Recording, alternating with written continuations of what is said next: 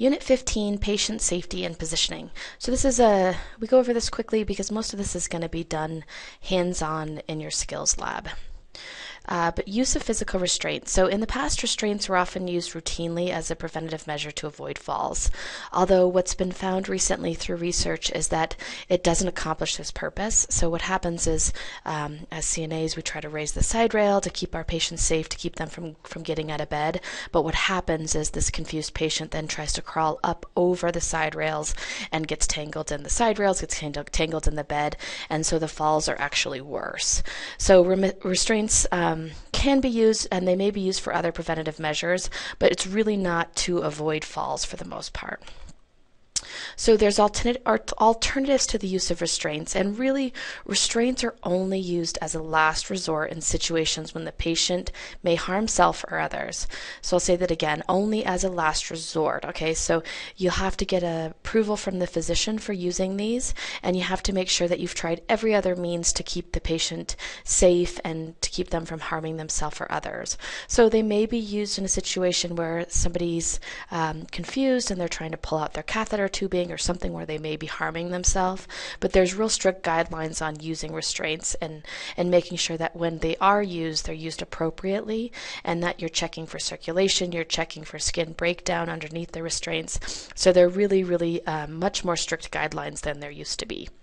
So, the purpose of restraints really is to restrict freedom and access to the body. So, again, if somebody's trying to pull out their catheter tubing or pulling out their IV or something where it may harm themselves, then they may be used.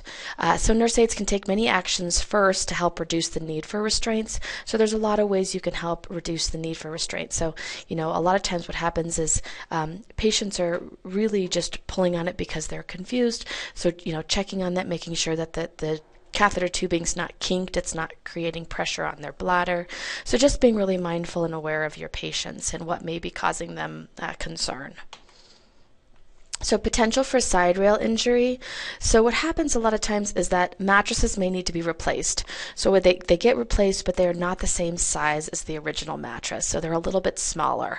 And so, we'll look at kind of what this does in terms of potential for injury. So, there's gaps between the mattress and the bed frame or rails. So, again, the a smaller size mattress, so fitting on the same bed frame, causes a little bit of gaps between the bed frame and rails. And so it can be caused by movement or compression of mattress, or it can just be caused by a, a mattress that's being used that's too small. So if it's if it's wide enough to entrap a patient's head or body, you make sure that you always report up the chain of command. So again, that would be your nurse.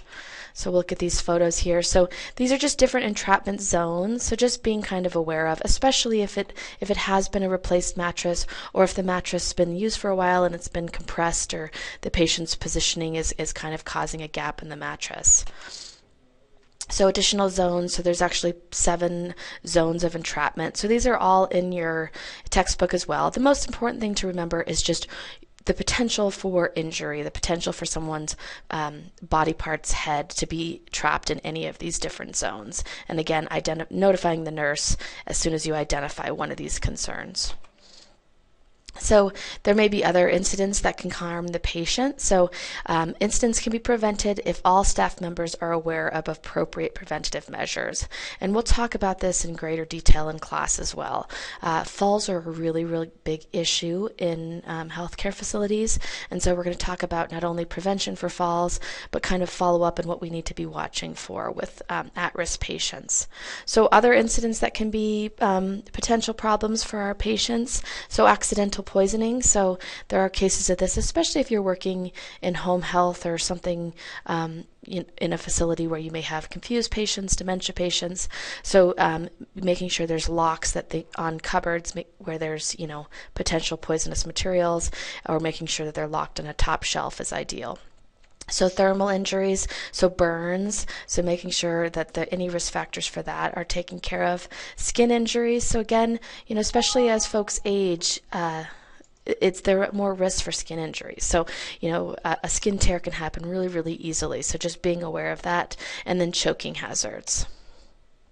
So, uh, caring for patients safely, we must faithfully and carefully carry out specific routines. And this has a lot to do with neglect that we've talked about in other units, but it's really important that when you are working, um, that you follow your policies and procedures of your facility. Because what happens is if something happens to somebody, if you didn't specifically carry out the routines, specifically follow the policy and procedure, and someone is injured, you can be uh, liable for neglect. So, procedure is the normal normal, manner of carrying out a task. So there is a policy and procedure manual on every floor.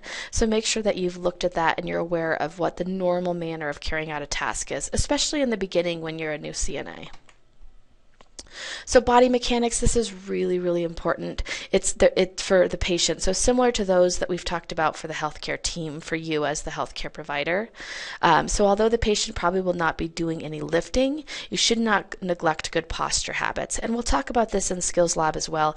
Even things as simple as feeding and making sure that when you're feeding the patient, you're facing them directly so they're not turning their head, they're not making, they're not having their body out of good alignment. You wouldn't be eating um, with your head cocked to the side the entire time. So just being kind of mindful of what good body mechanics are for the patient, and then especially for things like positioning on side, that you want to make sure that you're propping the you know the parts where there's bony prominences that could be potentially on top of each other. So at the ankles at the knees um, at, you know making sure the arms aren't pinned underneath their body. So just making sure that they have really good body mechanics so body alignment and positioning. So maintaining the patient in a position in which the body can properly function. So again, we talked about that in terms of feeding, but also in terms of, you know, another skill positioning on side just making sure that their body is in good alignment that their you know that their um, back is being propped by a pillow that their alignment or that their bones aren't being placed on top of each other to make sure that we're their body can properly function but also we're not putting them at risk for skin breakdown so complications um, can occur when the, that body alignment's not maintained or when the patient's position's not changed often enough.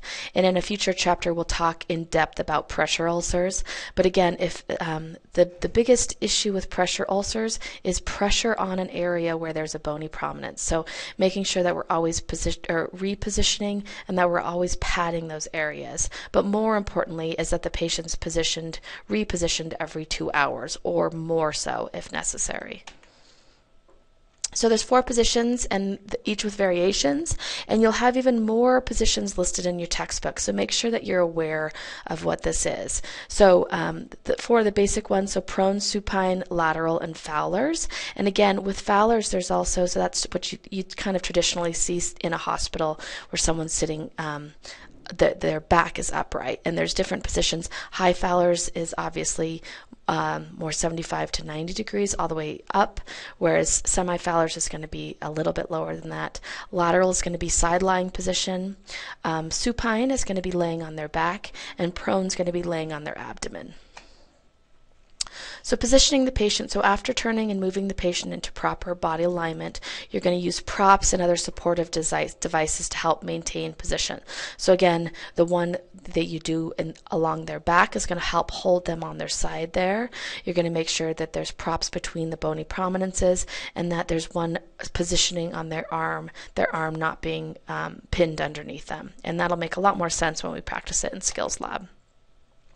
So chair positioning, so again, you know, people who are in wheelchairs or who are in that position, they're at risk for pressure ulcers as well. So again, uh, especially in their um, coccyx sacral area, so near their lower back, because of that gravity pushing on that area all the time. So um, it's really important that they're positioned appropriately. So positioning begins with the feet. They should be supported on the floor or the wheelchair footrests, and we'll do this when we do transfer to wheelchair.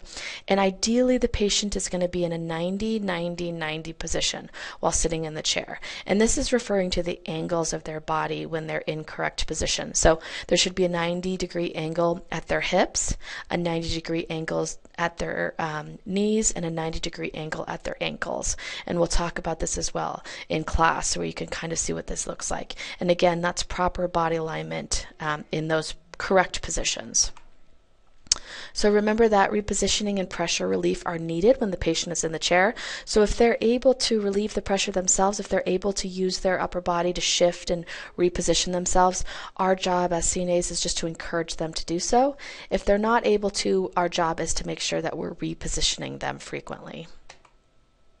So this is a great photo of the 90 degree angle that we're looking for.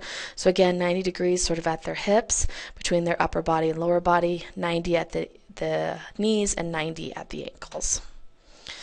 So chair positioning, so refer to the file entitled pre-post procedure. It's, it talks about the beginning procedure actions and procedure completion actions.